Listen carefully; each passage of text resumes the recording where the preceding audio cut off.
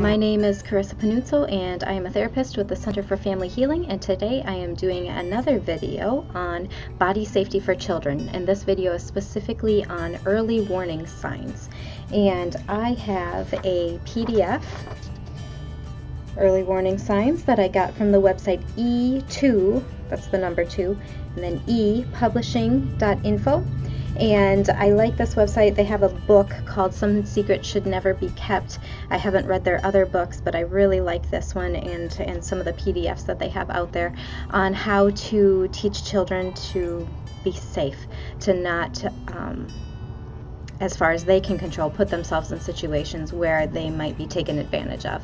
And so, one of the really important things to do for children is to teach them to listen to their body, to um, listen to their gut. Um, and not just the kind of gut instinct, but specifically their body.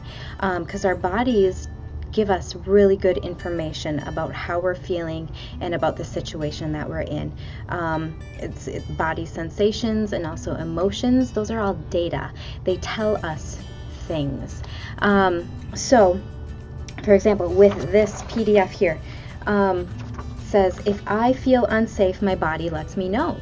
So you can teach children that your body will tell you if you feel unsafe. And then the things that they need to look for are um, maybe their hair feels like it's standing on end. Um, maybe they have a sweaty brow or they feel like they're going to start crying. Um, goosebumps, sweaty palms. Maybe they feel like they have to go to the bathroom.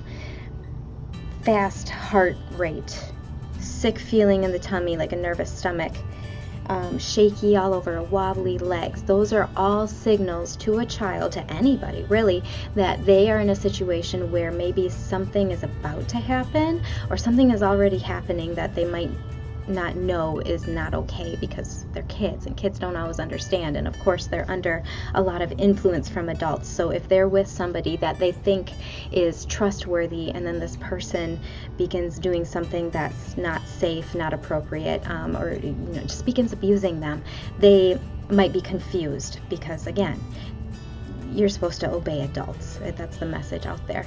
Um, so giving them these tools of um, yes, overall you need to be obedient, but if your body is feeling this way, if you're feeling unsafe, you don't need to obey. You need to take you need to obey your body. You need to listen to the message that your body is giving you and go find a trusted adult. In the other video on body safety that I've done, um, it talks about helping your children develop a safety network of people that you have vetted, that you have um, really tested and found to be safe. And um, so just, you know, listen to your body and then go find these people. Go be safe. And there's a couple other things that you can do to help children remember to listen to their body. One of my favorites is if my kids have been over at a friend's house or if they've been with a sitter um, or even with grandma and grandpa over the weekend and you know maybe they went camping with another family or something like that.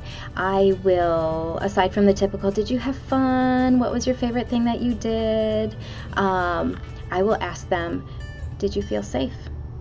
And i think that's a really important question to ask because um, you know lots of times especially pedophiles um, they're really good at making things fun for most of the time.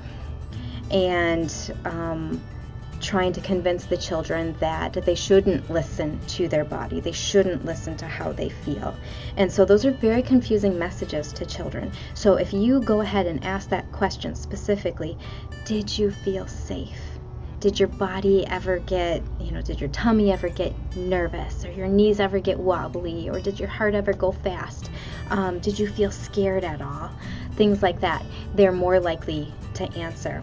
I have two boys, they're three and five, and um, thankfully nothing really big has happened at all. But um, even when children are playing with children, and lots of times older to younger, or even younger, it, it really doesn't matter. But um, you know, sometimes the other children can be exposed to things that that your kids haven't, and we've had situations like that where um, an older child has wanted to show their private parts to my children or let's let's pull down her pants um, and so thankfully, because I, I talk to my kids about these things, they, um, you know, they know what private parts are. They know that you're not supposed to do that.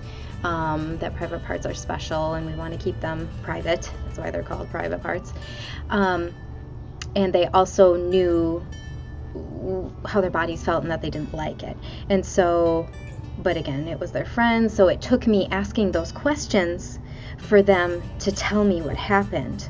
Um, and again, thankfully, it, it, hasn't been anything really big, but um, it's important. Had I not asked those questions, I wouldn't have known, and I wouldn't have been able to tell their parents and say, hey, you know, this happened. You might want to watch out for this. And and then um, this mom in particular is like, yeah, I know. Um, I thank you for telling me because this is something we've been working on. And again, it was it was largely innocent because the kids are young enough, but it's something that you kids are curious. Um, it's just something that you want to not allow to continue and to be vigilant about. So teach your kids early warning signs and body safety.